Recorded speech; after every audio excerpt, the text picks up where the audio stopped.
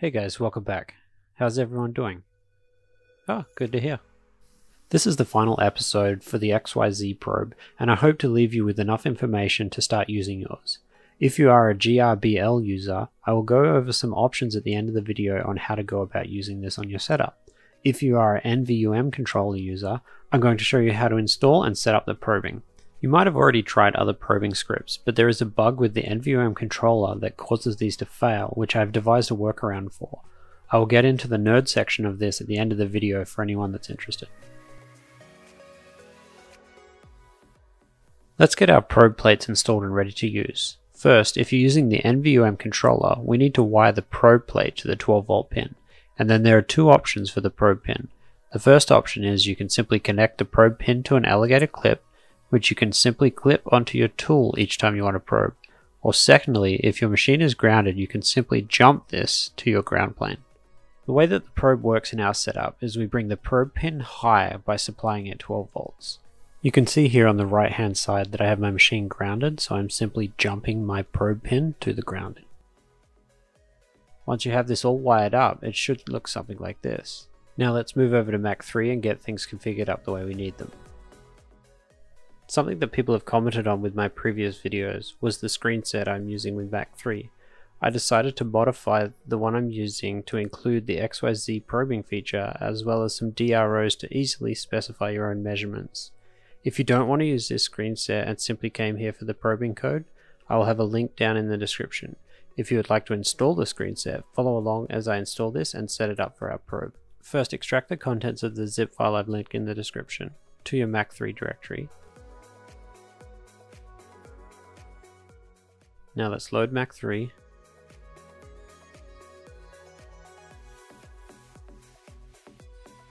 And click on View, Load Screen Set. Find Dark Screen IDIM Modified. Once we've got that loaded, we can go to our Offsets page. On our Offsets page, I've added a DRO for our plate Y wall and our plate X wall. I've also moved a couple of things around and I've added the Auto XYZ button here for the full probing procedure. Okay, let's check that we've got Mach3 configured correctly for our probe. To do this, go to Config, Ports and Pins, Input Signals, scroll down on the input signals to Probe, make sure it's enabled. The port is set to 1, the pin number is 2, and the active is low. And we'll go OK. Back to Config, Save Settings. Okay, one of the most important things to check now is on the offsets page. Take your probe plate and touch it against your bit. Make sure that this probe LED is illuminating. If this is not illuminating, you're going to crash your machine. Okay, so let's grab some measurements.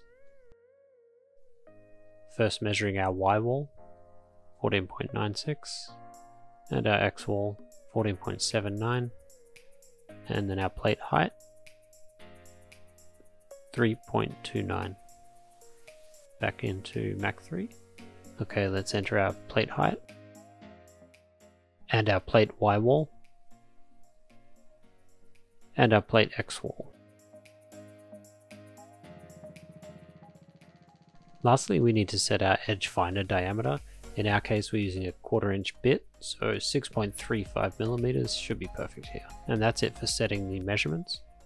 Let's place our plate on the table jog over so that we're about one centimeter above and one centimeter off each side.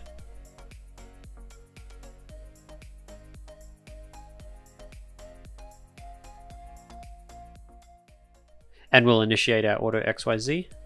First it's going to probe Z. Raise up. Make sure that you turn your flutes so that they contact the plate first, otherwise you're not going to get an accurate measurement.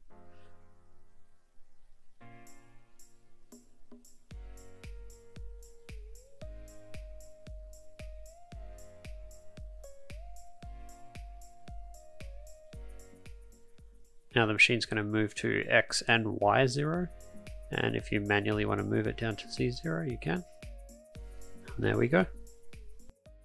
Now it's time for some love for our GRBL users.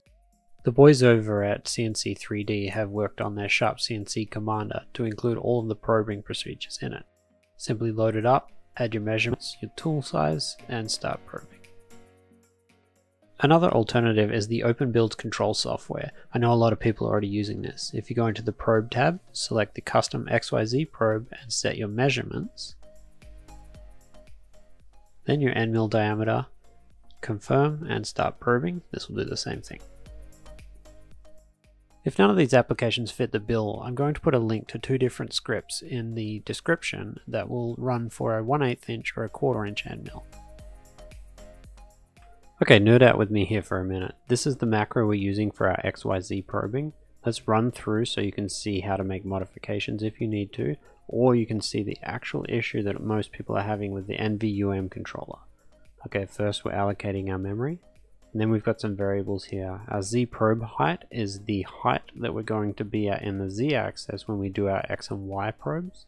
Our X reposition is how far we move in the negative X direction before we start the probe and our y reposition is how far we move in the negative y direction before we start the probe. These are the variables we're pulling from the DROs I've added to the screen set. First off we have a get OEM LED 825. This is checking the probe LED to make sure that it's not grounded before we start our procedure and if it is it's going to fail. Then we move on, we're going to zero our X, Y and Z. We'll do our Z probe, so we're going to get our current position. We're going to set our feed rate and then we're going to do our actual probing procedure. This is where we run into an issue with the NVUM controller. The normal way of doing this is use a while is moving and a W end. This is a loop that will stop macro from moving forward if the probe hasn't finished. The NVUM is moving on past this and therefore we're having random issues.